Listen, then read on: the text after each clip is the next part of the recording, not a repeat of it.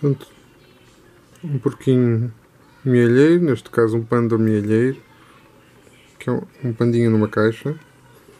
Muito engraçado, existem várias opções, existe o koala, é opções do panda, existe também um, um macaco, existe um gato, existe um cão.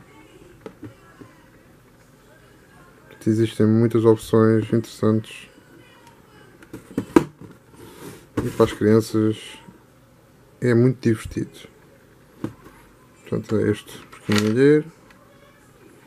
Tem uma caixa bastante agradável, com muito bom aspecto. De uma caixa. Então, podemos tirar as moedas sempre que quisermos. Aqui coloca-se duas pilhas do tipo 2As. Ligar. Ao colocarmos aqui a moedinha pressionarmos este botão, o pandinha sai e puxa a moeda para dentro.